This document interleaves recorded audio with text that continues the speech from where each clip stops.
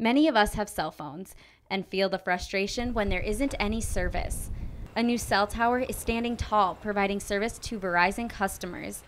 The cell tower is 150 feet tall and will reach devices between the Minot and Surrey area. Located near dusk to dawn, the cell tower makes it easier to stay connected through technology. There's something special about receiving a gift that's personalized and homemade, but not all of us are creative artists. Luckily, there's a spot.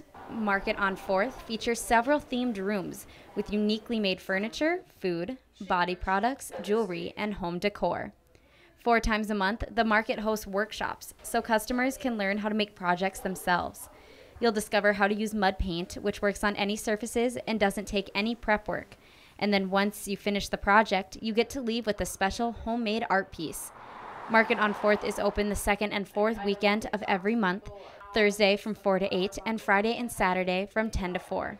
Located at 1900 4th Avenue Northwest, right next to Dairy Queen, Market on 4th artists live by the motto to reuse, recreate, and repurpose.